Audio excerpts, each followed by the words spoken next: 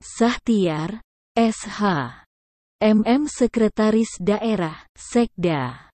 Kabupaten Kepulauan Anambas memimpin rapat koordinasi dan sosialisasi pelaporan Rencana Aksi Nasional, RAN, pencegahan dan pemberantasan penyalahgunaan dan peredaran gelap.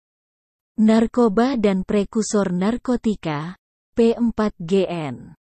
Bulan 12, B12, yang dilaksanakan di ruang rapat kantor Bupati Kepulauan Anambas, Pasir Peti.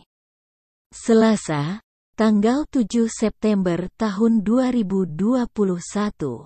Sahtiar dalam rapat virtual yang dihadiri oleh Kepala OPD tersebut menginstruksikan agar setiap kecamatan yang ada di Kepulauan Anambas merencanakan aksi daerah dalam pencegahan dan penyalahgunaan narkoba.